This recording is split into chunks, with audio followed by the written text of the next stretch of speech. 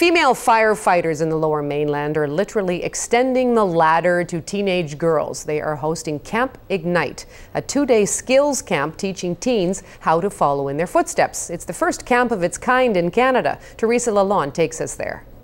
At this camp, you don't make fires, you learn to put them out. Opening.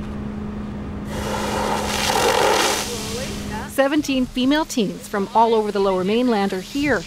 They were recruited through their schools. The criteria for joining athleticism, smarts, but most important, enthusiasm.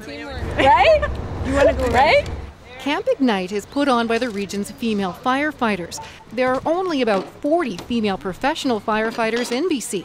Recruitment may be a long term goal, but the camp is mostly about empowerment. Okay!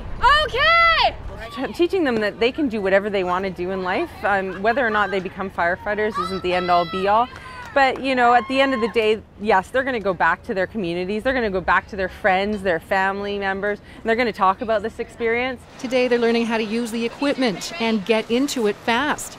They have to wear it as they carry hoses and crawl through the training house. They love it. It's kind of like an adrenaline thing. You get so excited about doing it, and you just want to like get involved. Physically, I think pretty good too. yeah, I've been working out and going to the gym a lot. Firefighting takes strength, but you also have to know how to work in a team.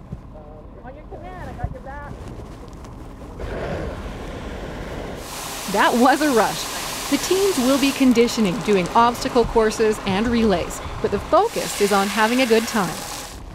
Teresa Lalonde, CBC News, Vancouver.